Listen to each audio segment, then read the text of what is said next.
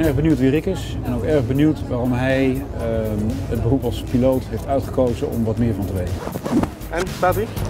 Dag Rick, Goedemiddag. ik ben Armand. Rick? Leuk dat je er bent. Ga je mee? Ja, ik ga mee. En hoe lang vliegt u al? Eh, 22 jaar bij de KLM. En wel op verschillende vliegtuigen. We vliegen vandaag met een Airbus. Dan moet ik hier met mijn paspoort eh, zeggen dat ik eh, aanwezig ben. Eh, confirmeren dat ik een visum heb om Amerika in te gaan, want daar gaan we natuurlijk heen.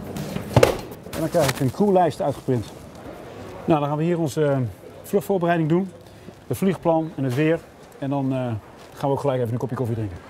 En je hebt vanuit Amerika altijd een westenwind, dus altijd tegenwind als je er naartoe vliegt. En dan proberen we die een beetje te omzeilen. Dus dan gaan we een klein stukje omvliegen, als die wind zo hard waait, om er minder lang over te doen. Ik hoor wel eens verhalen dat, dat, dat elke piloot dan een andere maaltijd krijgt. Is dat Ja. nog steeds zo? Ja, dat klopt. Wij hebben, hanteren strikt de regel dat eh, de twee vliegers dat die niet hetzelfde eten. Want mocht er onverhoopt toch iets door het eten zijn of dat iets bedorven is, dan willen we niet het risico lopen dat we allebei tegelijkertijd ziek worden. Daar staat hij al.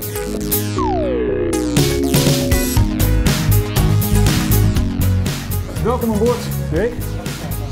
Mijn collega's zitten, zitten al op hun plek. En wat we nu doen is aan alle systemen eh, aanzetten en dat we onze navigatiecomputer gaan programmeren de hele route van Amsterdam naar Atlanta. Gaat u dan ook eh, zelf alles nog eens een keer checken? Ja, er zijn een aantal dingen die ik zeker wil checken. Ehm, dat is heel belangrijk in de luchtvaart. Alles checken. Het is eh, helaas eh, voor jou nu eh, tijd aangebroken om afscheid te nemen. Ik vond het heel gezellig. Dankjewel. Ja. Dank u.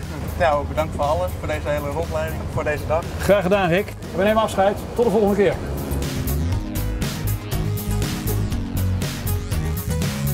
Ja, dat was echt super tof. Bedankt Schiphol TV.